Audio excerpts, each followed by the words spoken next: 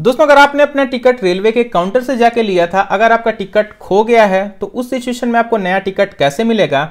इसको बनवाने के लिए क्या आपको प्रोसेस करना पड़ेगा, कितने फ़ी एंड चार्जेस देने पड़ेंगे। और अगर आप ये सोच रहे हैं कि अगर आप अपने टिकट का फ़ोटो दिखा के या फिर फ़ोन का मैसेज दिखा के रेलवे में ट्रेवल करना चाहते हैं तो क्या ये अलाउड है या फिर नहीं है? तो दोस्तों, इन सारे क्वेश्चंस का आंसर आपको आज की इस वीडियो में पूरा डिटेल में मिलने वाला है। साथ के साथ आपको इस वीडियो को स्किप करने की ज़रूरत बिल्कुल भी नहीं है।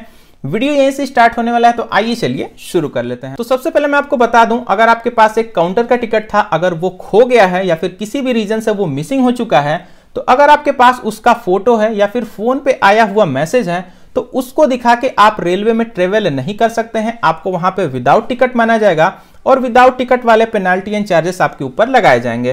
तो ये डाउट अपने दिमाग से आप बिल्कुल निकाल दीजिए कि अगर आपके पास उसका फ़ोटो है या फिर फ़ोन पे कोई भी मैसेज आपका है तो उसको दिखा के आप रेलवे में ट्रेवल कर पाए।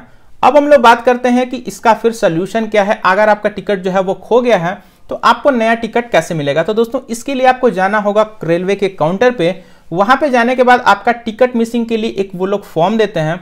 उस फॉर्म को आपको वहाँ पे फिलअप करना पड़ेगा, जिसमें आपको पूरी डिटेल देनी पड़ेगी। कौन सी आपकी ट्रेन थी, कहाँ से कहाँ तक आप जा रहे थे आपके साथ कितने लोग ट्रेवल कर रहे थे? अगर मल्टीपल लोगों का टिकट होता है तो वहाँ पे सबकी डिटेल देनी पड़ेगी।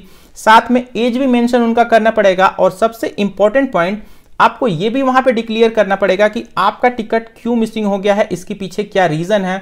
कहीं वो डिस्ट्रॉय तो नहीं हो गया या फिर वो कहीं आपसे खो गया है?